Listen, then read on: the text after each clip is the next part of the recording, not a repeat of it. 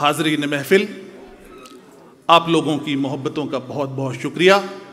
मुझे इजाज़त दीजिए। मुझे इजाज़त दीजिए कि अपनी कमा का पहला तीर इस मुशायरे के पहले शायर को मैं आवाज़ दूँ।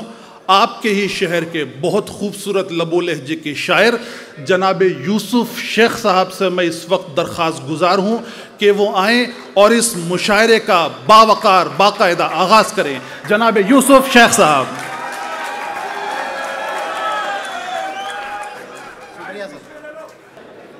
अस्सलाम वालेकुम जुबैल। मैं बिहार अंजुमन का बहुत मशहूर हूँ और हमारे मेहमान खसूसी शत्रुघ्न सिन्हा साहब का, कि वो यहाँ आए और इतनी बेहतरीन तकरीर की। फ़ातिमी साहब, जो बिहार अंजुमन से बड़े गहरे ताल्लुक़ रखते हैं अनज़ार भाई का भी शुक्रगुजार हूँ कि उन्होंने इतने बेहतरीन मेहमानों को यहाँ जमा किया। और मैं अपनी बात यहीं से शुरू करूँ, क्योंकि तारुफ में काफ़ी वक्त जाएगा। मेहमान खसूसी के लिए चार मिसरे, मैं कोई सियासी शख्स नहीं हूँ तो ज़ाहिर बात है कि मुझे लिए कोई लिमिट्स भी नहीं है। समझे? मैं आउट ऑफ़ लिमिट जाके भी कुछ कह सकता हूँ। इजाज़त? राहत इंदड़ी साहब, और इजाज़त आपके साथ। तो पहले चार मिसरे, शत्रुघ्न सिन्हा साहब के नाम। वो जुल्म करते किसी पर न जुल्म सहते हैं।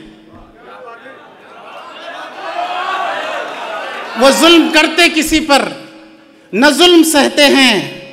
वो हीरो बन के सभी के दिलों में रहते हैं। वो हीरो बन के सभी के दिलों में रहते हैं। हमारे मुल्क में लीडर तो हैं बहुत लेकिन हमारे मुल्क में लीडर तो हैं बहुत, लेकिन वो शत्रुघ्न है जो चोरों को चोर कहते हैं। वो शत्रुघ्न है जो चोरों को चोर कहते हैं।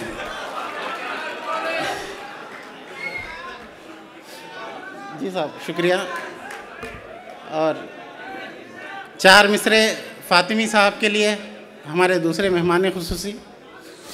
ऐसा नहीं कि सिर्फ़ सियासत है आप में। ऐसा नहीं कि सिर्फ़ सियासत है आप में। छोटे बड़े सभी से मोहब्बत है आप में। छोटे बड़े सभी से मोहब्बत है आप में। हर मोड़ पर फ़िक्र है, उन्हें कौम की बहुत। सच बात बोल देने की हिम्मत है आप में। सच बात बोल देने की हिम्मत है आप में। शुक्रिया शुक्रिया साहब। और बिहार अंजुमन के अंजार आलम भाई के लिए भी अब चार मिसरे हो जाएँ, जब सबके हो गए।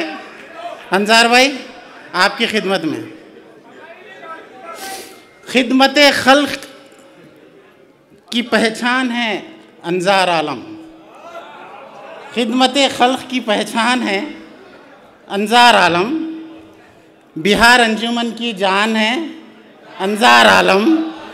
तमाम हिंद के लोगों से है लगाव उन्हें। तमाम हिंद के लोगों से है लगाव उन्हें। मनतख शर्खिया की शान है अनजार आलम। जनाब एक गज़ल, एक मतला और चार शेर। आप बहुत से सुनते आ रहे हैं कि कुछ नहीं हुआ, कुछ नहीं हुआ, आजकल एक इन चार सालों में कुछ नहीं हुआ तो मैंने उसी को रदीफ बना दिया है। आपकी दुआएँ चाहिए, पसंद आया तो। जोशे जुनू बयां न हुआ। जोशे जुनू बयां न हुआ, कुछ नहीं हुआ। वो हम पे मेहरबान न हुआ, कुछ नहीं हुआ। वो हम पे मेहरबान न हुआ, कुछ नहीं हुआ। मेहमान बन के गोशे दिल में रहा मगर, मेहमान बन के गोशे दिल में रहा मगर, मैं उसका मेज़बान न हुआ, कुछ नहीं हुआ, मैं उसका मेज़बान न हुआ, कुछ नहीं हुआ।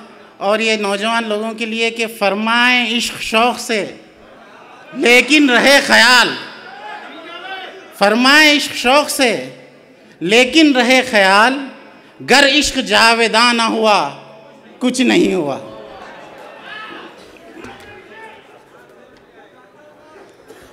और एक गज़ल का मतलब कि जिस तरह के नए मौसमों की खुशबू तेरे नाम लिख रहा हूँ।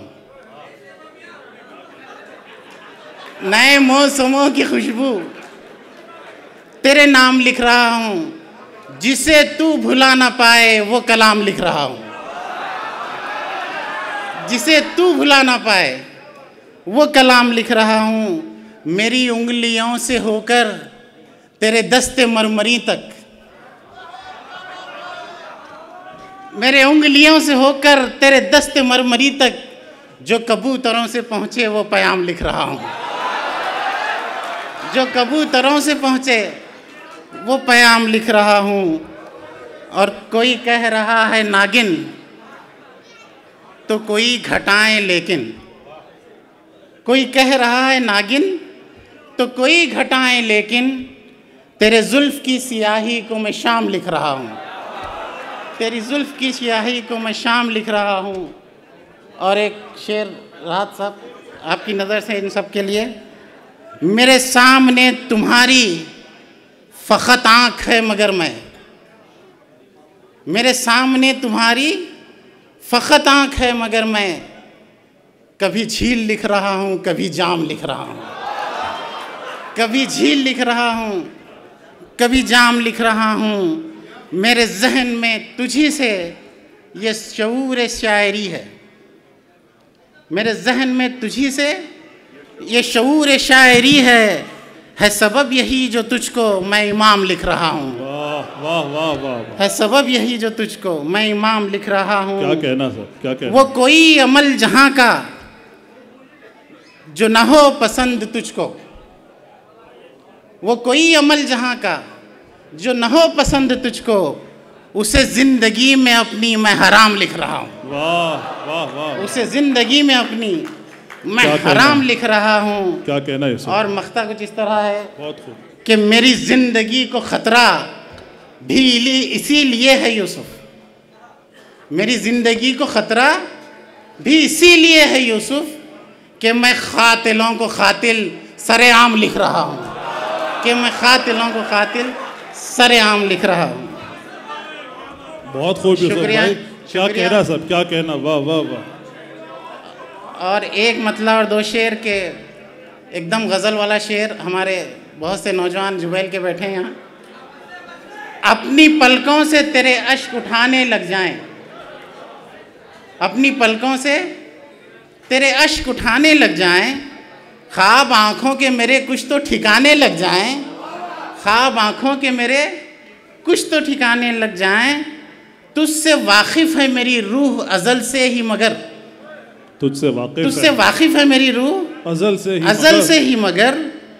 रिश्ता ऐसा कि निभाऊं तो ज़माने लग जाए। बहुत अच्छा कहा साहब रिश्ता ऐसा कि निभाऊं तो ज़माने लग जाए। बहुत अच्छा शुक्रिया शुक्रिया। तुझसे वाकिफ़ है मेरी रूह अज़ल से ही मगर। रिश्ता ऐसा कि निभाऊं तो ज़माने लग जाए। और बेसबब रूठने वाले से बता दे कोई। क्या कहना बेसबब रूठने वाले को बता दे बता दे कोई। हम नहीं वो जो किसी को भी मनाने लग जाएँ।